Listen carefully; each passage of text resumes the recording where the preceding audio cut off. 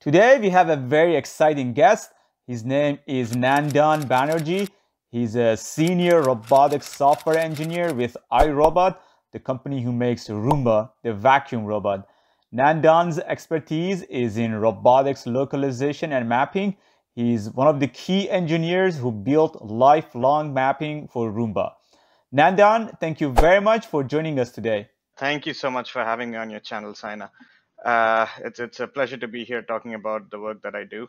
So a little bit about me. I was born in India. I did my schooling in India. I did my undergraduate education at National Institute of Technology in Durgapur in computer science. And after that, I worked for a year at Samsung Research in Bangalore. And after one year stint over there, I came to the US, enrolled in the Masters in Robotics program at Worcester Polytechnic Institute. While I was over there, I was associated with the DARPA Robotics Challenge, and I got to work on the $2 million Atlas robot, predominantly working on getting the robot to accomplish the door task, which uh, basically entailed uh, the robot uh, detecting a door, walking to it, opening it, and then walking through the door.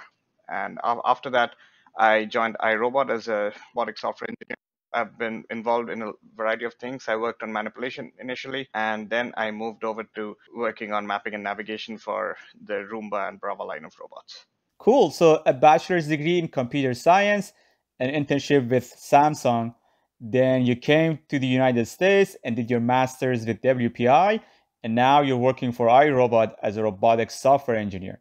So, was your master's in robotics software engineering? No, uh, so it's a master's in robotics engineering. It's not particularly software. So, in, so there's this course at WPI where they give you a master's in robotics, and you get to choose what courses you take, obviously. But uh, the prim- some of the mandatory courses are on robot controls and robot dynamics, and that that has more of a mechanical and controls bent.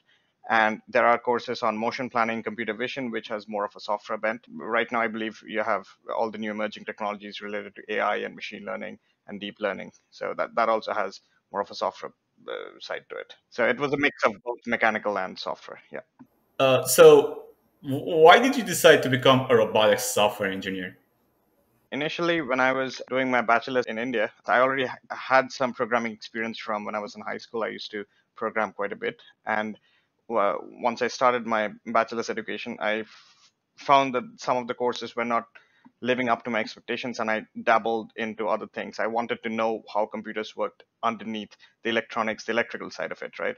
And I dabbled, started dabbling in microcontrollers, and uh, from there, uh, I started building robots, like small, teeny tiny robots, uh, like mobile robots or robots with arms for various competitions and things like that.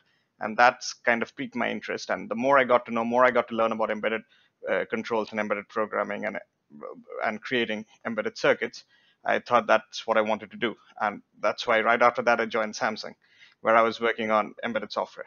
And after working over there a little bit, I found that I wanted to delve deep into the algorithm side of it. And that's when I decided, oh, it makes sense for me to pursue robotics. Did you do any internship after you got maybe your bachelor's degree or your master's degree?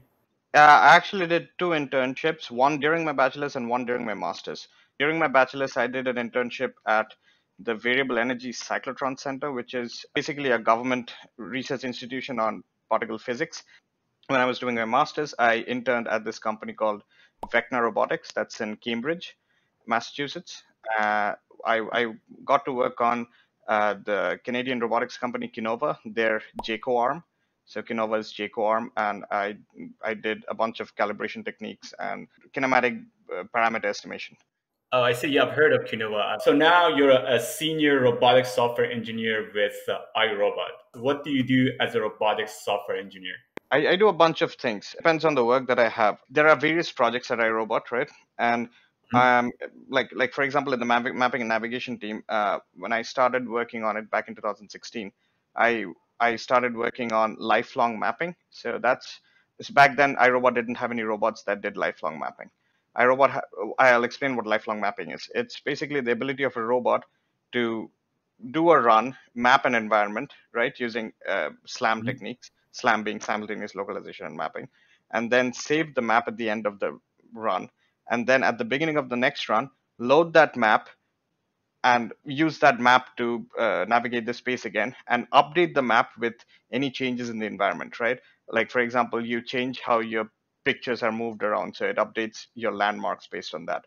Or you change, move the location of the couches or uh, dining table or something, right? That updates your occupancy map.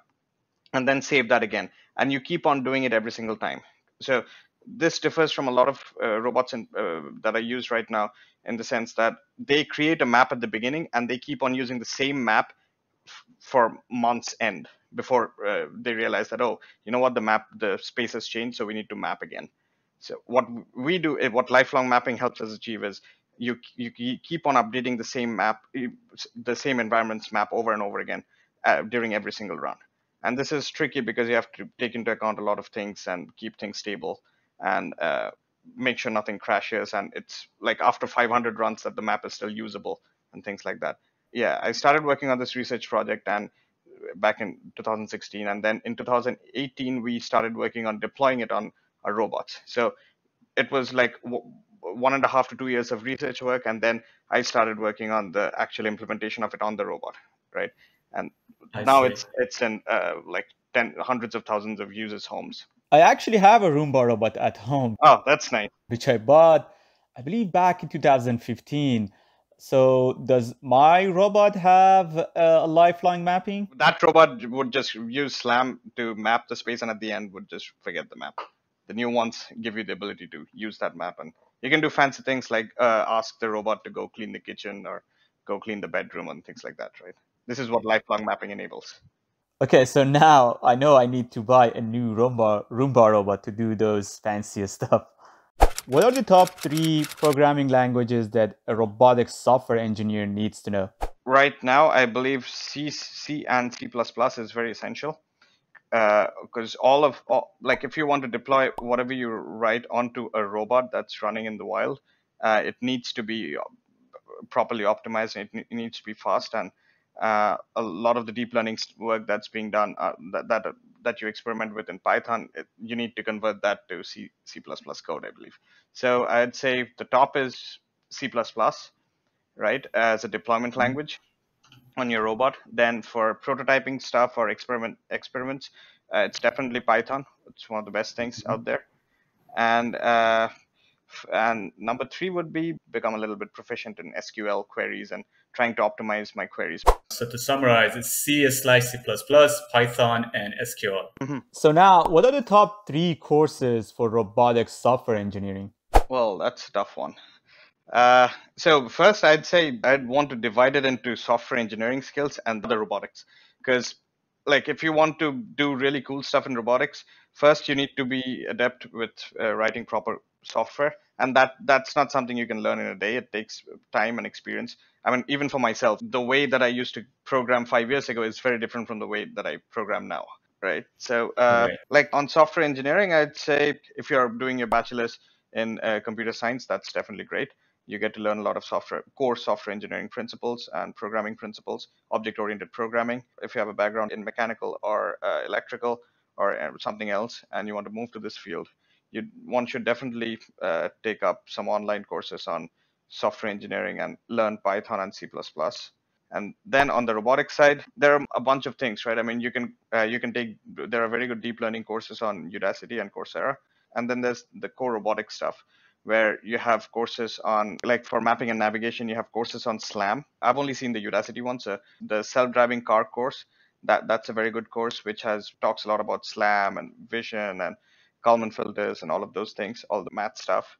And if you're uh, if you are unable to follow the math that's being described there, maybe you need to take a, a preliminary linear algebra math course and also uh, probability and Bayesian statistics. It depends on what you want to do, I guess. If you want to do all of these things or you want to learn a bit of each, then I'd suggest starting off with robot kinematics, dynamics, and then move on to higher stuff uh, like motion planning and mapping and navigation. Now, the question is, can, can someone land a job with just completing these online nano degree programs, or do they need to have an official degree such as a bachelor's degree from an uh, accredited school? Uh, that's that's a very good question. I know that there are a lot of companies out there who hire directly from who have interviewed people and have uh, hired people based on their scores from these programs. So that's that's definitely there. Uh, what I've generally seen is people having bachelor's degree at least, if not a bachelor's and a master's or a bachelor's and a PhD, uh, at least a bachelor's degree. But while they're working, they also end up taking these courses to better than knowledge and use that as a stepping stone to change careers. Like, say, for example, someone who's working as a software engineer in uh, Staples or Walmart or something, right? And they want to move to the self-driving industry or or maybe even surgical robotics, right? So you would want to know a bit more about that industry or about those kinds of robots. So these courses will help you gain a little bit of knowledge that you can use to uh, move to switch to a di- different part of your career, right? So you're basically saying that uh, some companies do hire graduates of these online programs directly and based on their scores, but your chances would be higher if you had an official degree such as a bachelor's and then on top of it you completed these online programs. Yeah. Okay, so now how much does a robotic software engineer make? Let's say with just 5 years of experience. I mean, it depends on which country you are in, right? Even in one country, which which part of that country you're in. I'd Let's say, say in the U.S. In the U.S., definitely upwards of hundred thousand dollars, I'd say, with uh, additional benefits, because a lot of companies are very different. Like even in the software industry, right? I mean, we know that Netflix and Google and Amazon pay very high salaries compared to like Adobe, for example, right? So definitely north of uh, hundred thousand, maybe 120, 140, 150 depending on your on on the project or things yeah. If you were to start all over would you do robotic software engineering or would you pick a different area in computer science? Oh no i definitely would do robotics but uh, i probably would uh, change my bachelor's degree to deal with a little bit more of math. I, I feel that i should have taken some other courses on applied mathematics that would have made it made my life a little bit easier. but I think that's the only thing I'd, I'd like to change. Apart from that, no. All right. Thank you very much, Nandan, for your time. I personally learned a lot about the SLAM and how robot vacuums work. And I truly enjoyed learning about your journey to becoming a robotic software engineer. So thank you again. Any any last advice or comment for my audience? Robotics is an exciting field and there are plenty of opportunities. You're working on surgical robotics, I'm working on consumers. There's self driving cars, there's robots in space, robots uh, underwater, lots of different opportunities. And it's, it's a very exciting field and it's here to stay. So I'd encourage whoever's listening in to definitely pursue robotics as a career choice.